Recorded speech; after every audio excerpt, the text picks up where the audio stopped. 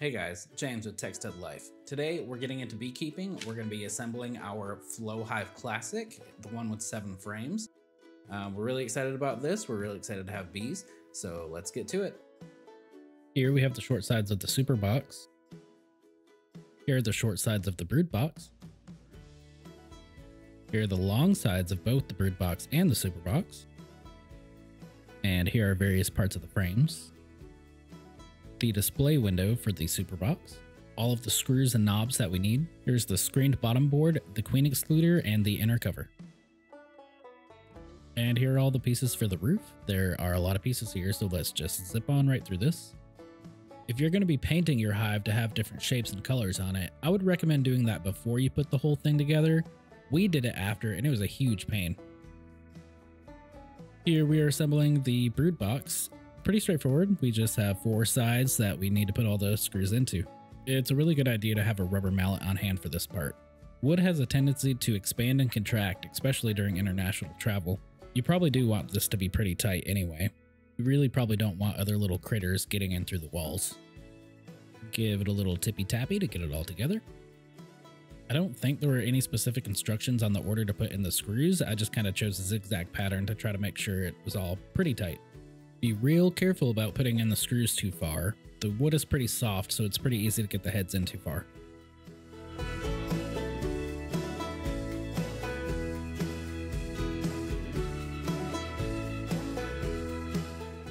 And here we are, one completed brood box. If you're going to add any foundation to your frame, you should probably do it here. I don't think that you can add it after the frame is built. This is actually the final frame that I built. It took me a little while to get a system down for doing this pretty easily, so I don't want to show all my failures, so you just get to see the best one. I would recommend using black frame foundation if you're starting out like us.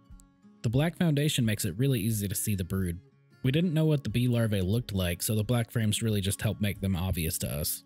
I don't really have a lot else to say about frames, so I'm just gonna spit out some bee facts. Did you know that the queen will only mate once in her life and it is referred to as her nuptial flight? A queen can live about 3 to 5 years. The queen will not eat what the other bees do. She will be on a strict diet of what's called royal jelly. Ta-da, here's our completed brood box and frames. Rolling right into the super, you can see that these walls are a little different. This long wall has the observation window so you can see how the bees are doing with honey production without disturbing anything. This short wall has the honey extraction window. I don't really know what it's called, but this is where you open it up to extract the honey without disturbing the working bees. Also, for some reason, this one was a little tighter to get on. This part is also not super interesting, so more bee facts. Drone bees are male bees, and they have one job and one job only. If you've ever had to have the talk about the birds and the bees, you could probably guess what that one job is. Drone bees will actually not mate with the queen from their own hive. The drone bees will go out and find what are essentially bachelor pads with drones from other hives. They will all hang out and wait for new queens to show up. In the world of bees, the female or worker bee will do all of the work to keep the hive in tip top shape. The first task that a worker bee has is to clean her own cell. Then she'll become a nurse bee and take care of the larvae in the hive. The very last and most dangerous job that the worker bee will perform is to become a forager. It is unfortunate, but it is likely that the final act of service a worker bee will do for the hive is while she's out foraging.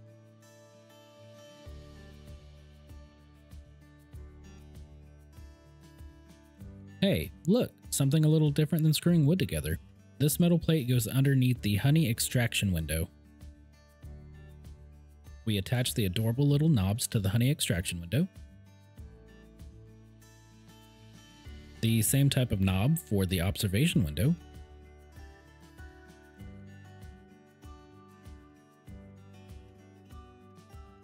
And the same knobs for the honey extraction key window. I should really figure out the names of these things.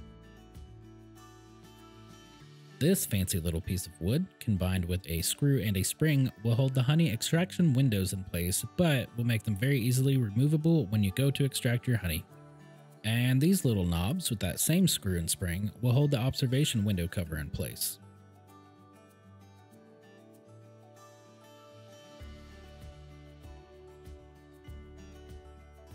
Here are the frames that the Flow Hive is all about. There are several pieces of plastic that create a grid very similar to honeybee specifications. The grid isn't quite complete though, which allows the bees to fill those gaps with beeswax. When the super is completely full of honey, you are ready to harvest. This silvery metal bar that comes with the honey flow is called the key. You use the key to break the little channels of wax which allows the honey to flow down to the bottom of the super. They make a 6 frame and a 7 frame version of the super, and we got the 7 frame because we are greedy. We want as much honey as we can get. There are screws on one end of the frames that you can adjust to get a snug fit inside of the box. You want the frames to be aligned properly so that nothing can crawl between the frames to get in and out of the super. You can see the observation window at the bottom of the video. Taking the cover off gives you a really cool view of the bees while they are actively working to fill the super with honey. This part of the video is also not super exciting, but is still very important to see. You can see me adjusting each screw to make sure that the frame does not wiggle left to right. We are just starting this bee journey, but I imagine we'll need to adjust these screws throughout the season as things like temperature and humidity change. I also imagine that temperature and humidity is why the screw adjustment process exists in the first place, and why the frames weren't just manufactured to fit tightly inside the box. Now we move on to the roof, which was shockingly the hardest part of the entire build. Not that the roof was difficult, it's just that you actually had to put forth some effort to make sure that everything lines up correctly. One of the gables is shorter tall wise than the other one to account for the honey extraction keyhole.